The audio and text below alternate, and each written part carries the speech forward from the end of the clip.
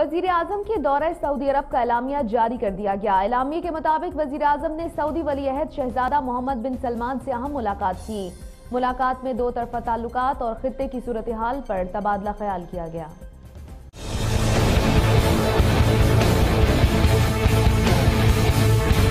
دفتر خارجہ نے وزیر اعظم عمران خان کے دورہ سعودی عرب کا اعلامیہ جاری کر دیا۔ اعلامیہ کے مطابق وزیر اعظم عمران خان نے سعودی ولی عہد شہزادہ محمد بن سلمان سے اہم ملاقات کی۔ جس میں دو طرفہ تعلقات اور خطے کی مجموعی صورتحال پر تبادلہ خیال کیا گیا۔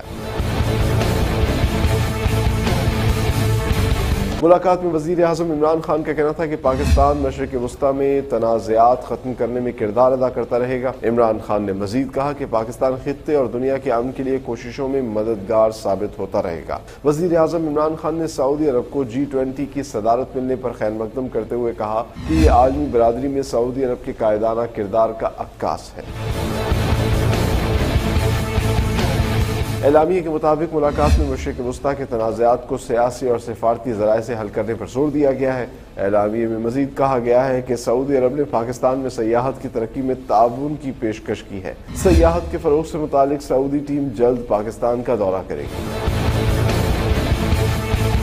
ملاقات سے قبل وزیر اعظم عمران خان کی سعودی عرب آمد پر مدینہ کے ڈپٹی گورنر وحیب السہلی اور جدہ میں پاکستان کے کونسل جنرل خالد مجید نے ان کا استقبال کیا۔ وزیر اعظم نے روزہ رسول صلی اللہ علیہ وآلہ وسلم پر حاضری دی، نوافل ادا کی اور ملکی سلامتی کے لیے دعائیں کی۔ مئی دو ہزار انیس کے بعد وزیر اعظم عمران خان کا سعودی عرب کا یہ چوتھا دورہ تھا۔ اعلامیہ کے مطابق وزیر اعظم کا دورہ دو طرفہ تعلقات کا تسلسل ہے۔ سعودی حکام کے ساتھ ہونے والی ملاقاتوں میں باہمی تعاون اور خطے کی صورتحال پر بھی مشاورت کی جائے گی۔